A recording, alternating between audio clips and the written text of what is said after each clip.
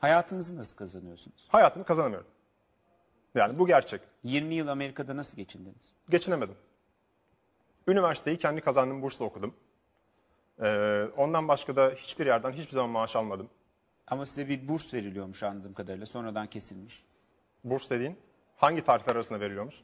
Hangi tarihler arasında veriliyordu? Ben size Burs, burstan ziyade hayatımda benim maaş aldığım tek dönem son 8 aydır. Daha önce hiç almadınız. Hayatımda maaş almadım. Son 8 aydır ne maaş aldınız? Son 8 ayda e, Sayın Bakan Bey'in sayesinde Faruk Özak ve Sayın Genel Müdürümüzün sayesinde Yunus Bey e, onlara gittim ben derdimi anlattım. Dedim ki bakın ben e, 30 senelik yüzücüyüm milli takımda 25 senedir. Hiçbir zaman hiçbir yerden destek almadım. Hayatımda sponsorum olmadı. Geçinemiyorum dedim.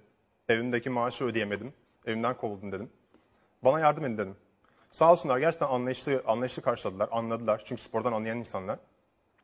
Tamam dediler biz e, 2012'ye kadar e, sana maaş ödeyeceğiz. 2012'ye hazırlanman için. Ama bu maaş benim cebime kalan bir maaş değil. Bu benim e, evimin kirası olsun, yemeğim olsun, havuz masrafım, e, işte kondisyonerim masrafı, antrenörüm masrafı, yarışa gidiş gelişlerim masrafı. Yani bu bana kalan bir para değil. Ne kadardı? Önemli değil. Olur mu önemli değil. Devletten bir maaş alıyorsunuz sonuçta. Önemli değil. E çünkü Yüzme Federasyonu Başkanı Ahmet Bozdoğan bir açıklama yapmış. Bunu söylemiş 11 aydır 113.200 dolar biz ödedik diyor. 8 değil 11 ay diyor. 7.500 dolar da sponsor bulduk diyor.